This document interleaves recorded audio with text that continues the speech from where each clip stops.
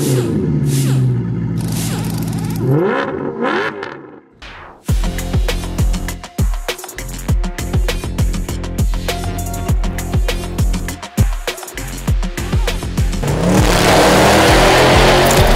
guys, welcome back to German Motors and Engineering. Today we have a 2018 Jeep Grand Cherokee in our workshop and this, this one was born as an SRT Jeep. Means it has 6.4 liter displacement, um, it is a natural aspirated engine and it has less than uh, 500 horsepower. But this one is special because we uh, installed not only a supercharger, we made it uh, a Trackhawk supercharged Jeep SRT mix. Let me explain. Um, first of all, what you can see is um, the K&N intake system. Then we have a 2.65 liter displacement Edelbrock Roots type supercharger. And also uh, underneath the car is our 3 inch uh, stainless steel exhaust system, our active exhaust system for that car. And these components, basically, um, that's the package which we usually install in 6.4 liter SRT Jeeps to, um, to raise the power up to 620 horsepower, something in that range. But for that car, we installed Trackhawk engine internals. We used a Trackhawk crank, uh, crankshaft, a Trackhawk uh, pistons, rods, camshaft, valve springs, push rods, um, yeah, basically everything which makes that engine a Trackhawk engine. Those two engine types, the 6.4 um, Hemi natural aspirated SRT engine and the 6.2 liter Trackhawk or Hellcat engine, they share the same housing. And also um, the heads from the engine have the same shape of ports, but they have a different bolt pattern for mounting the supercharger on the 6.2 or the intake manifold on the on the 6.4 and that's why we used this Edelbrock supercharger because it comes with the bolt pattern for those heads which come with that engine from the factory but the whole engine is now working like a Trackhawk engine because it has all those bits and pieces inside which makes it a Trackhawk engine except of the belt drive and except of um, the the bore pattern to mount that supercharger. But we are supercharging it with this Edelbrock supercharger and it's even bigger than a supercharger from a Trackhawk. A Trackhawk supercharger has 2.3 liter and this is a 2.65 liter. So it's bigger and it has more potential to move even more power. And right now we are running it on the same boost level as we are running our SRT Jeeps, which is around half an atmosphere, means 50% more air. And we will break in the engine in this condition right now and at a later point of time we will upgrade the belt drive from 6 rib to 8 rib and we will raise the boost and inject more fuel and then see where we will end. At this um, point we did program the engine and the transmission in a way that the car drives like a factory car. And this was some weeks of programming. We're using HP tuners equipment to uh, read and write the engine computer and the uh, transmission control module. And we managed it to, to uh, use parts from the SRT software, parts from uh, the Trackhawk software and parts from our supercharged SRT software to create um, a calibration which addresses all the changes that we've done.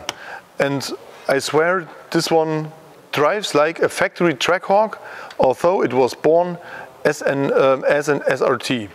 And how it drives, that's uh, the thing that I would like to show you right now.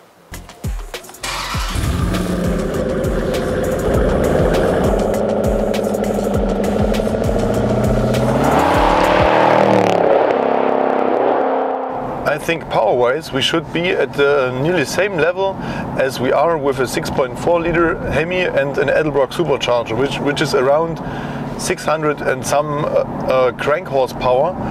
And this, these Trackhawk internals in our SRT housing um, results, I think, in the same power because we have 0.2 liter less displacement. We have a compression ratio which is lower than an SRT engine. And those two things, less displacement and less compression ratio, should result in less power. But we have the Trackhawk camshaft and this Trackhawk camshaft opens the valves longer and it opens the valves higher so we have a better airflow and I think our camshaft compensates the other two things so we should be at the same power level as we are um, with a 6.4 liter Hemi but we have a much much stronger engine and this is the point.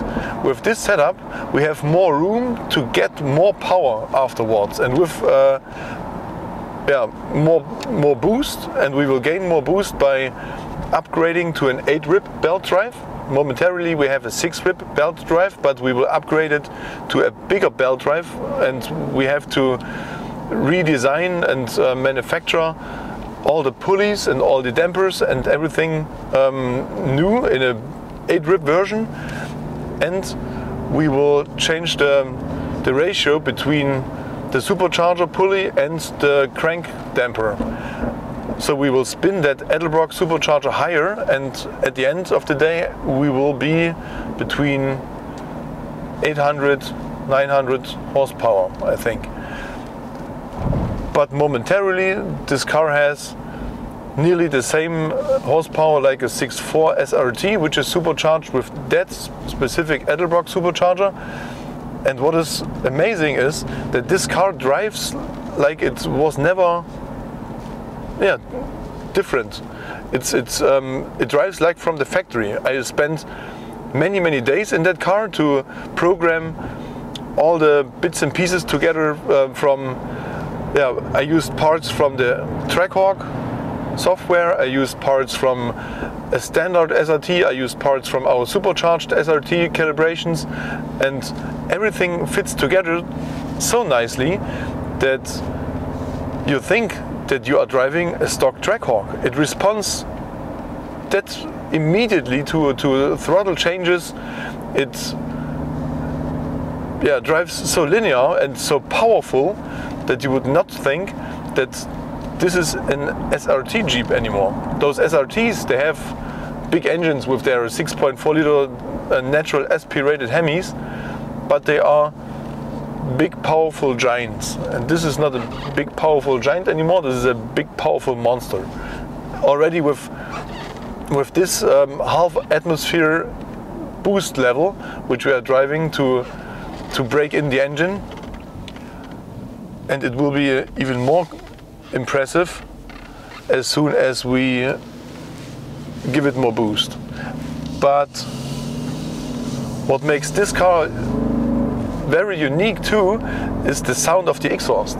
Because yes, we have our um, three inch uh, stainless steel active exhaust installed in that car, but with these engine internals right here, we have such a nice sound. It's, it's, it's not that smooth like it is with an SRT, it's a little bit more rough.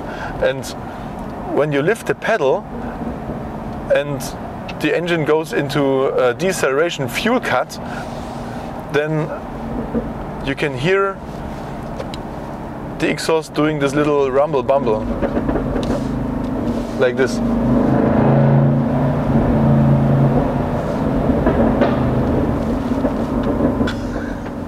I love this. It's um, that's the moment when the injectors um, are closing because you don't want the uh, injectors to inject fuel under deceleration. Deceleration is a is a driving condition when you want the car to slow down. And why should you inject any fuel when you are going to slow down?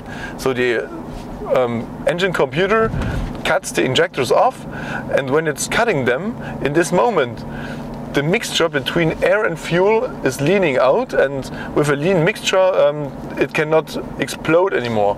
But you are transporting unburned fuel into the exhaust system and as soon as this is enough to, to, to light up, it explodes. And this makes this little, yeah, these, these explosions which are not in the same order as they are when they are coming from the engine itself. They are, yeah, they are scrambled, and this and this gives it this little rumble bumble sound. You now know what we did right here, so let's enjoy and listen to that beautiful exhaust sound.